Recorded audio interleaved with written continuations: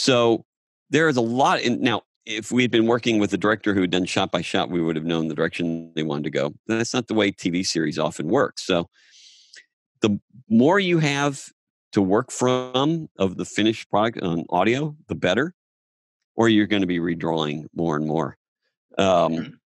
and so, so we don't know. And sometimes the director or the editor will get in and change the timing. But again, if you're working in the master software, that's great. Let them come in here, play around.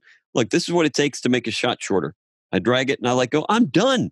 Hit play, export. You're done. You're not going back and forth between exporting these and doing uh, setting up your layers and affecting your layers in After Effects, and then going into Premiere or Avid and doing the edit. God, what a terrible way to work. You know, if you just stay in one master software, every part of production benefits.